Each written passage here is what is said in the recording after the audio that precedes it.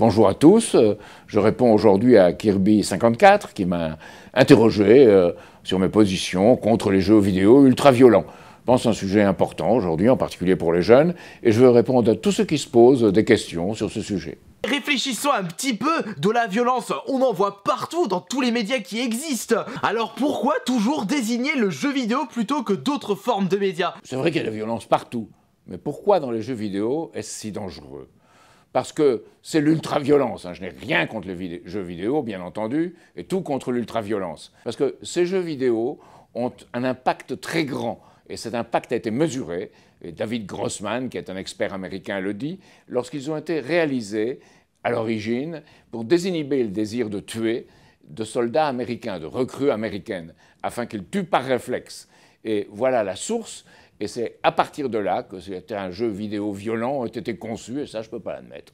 Prenez mon exemple, même si j'ai joué à énormément de jeux violents durant ma jeunesse, et même à l'heure actuelle, eh bien je ne suis pas devenu un meurtrier, je suis pas devenu un terroriste Ben, bien sûr, euh, on peut prendre ses distances lorsque par ailleurs on est formé, on connaît les choses, et on, est, on aime poser des questions comme vous. Mais si vous êtes victime de ces jeux vidéo ultra-violents, si vous êtes addict à ces jeux vidéo ultra-violents, lorsque la violence est dans la rue, ben, c'est banalisé, vous ne réagissez pas de la même façon, c'est la banalisation de la violence. Il y a cela, d'une part.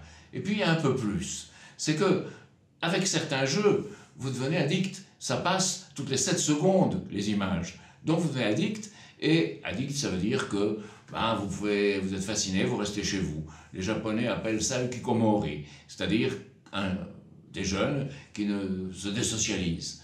Là, il y a un autre danger, mais ça, ça dépend de vous, ça dépend de votre jugement.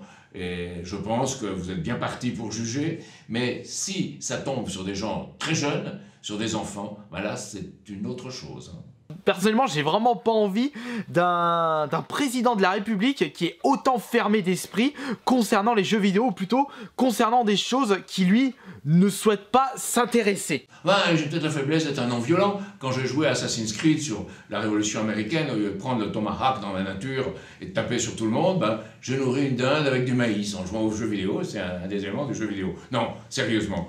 Il y a des jeux vidéo comme Super Mario Odyssey, tout le monde attend, avec la casquette volante. Hein.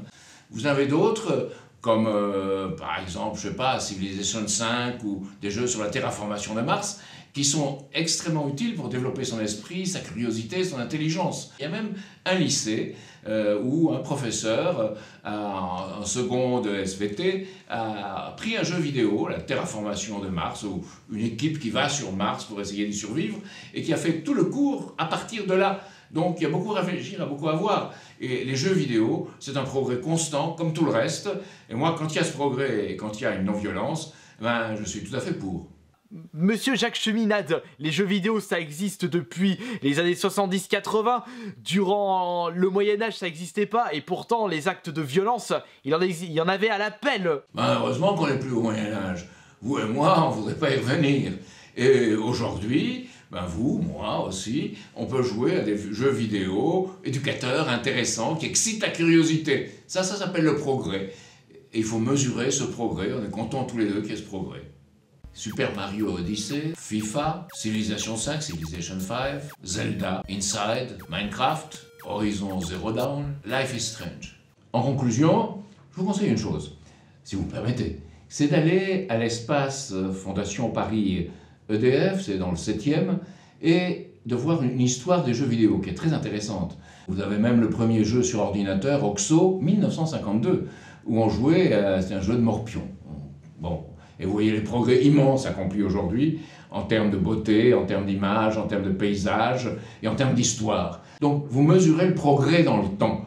Et le progrès, c'est vraiment la chose avec laquelle on plante son pied. Parce que le progrès, ça prouve que le futur sera meilleur que le passé. Moi, je me bats tout le temps pour ça.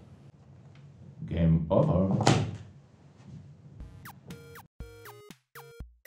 N'hésitez pas à faire un commentaire sur tout ce que vous avez écouté, à discuter, à débattre.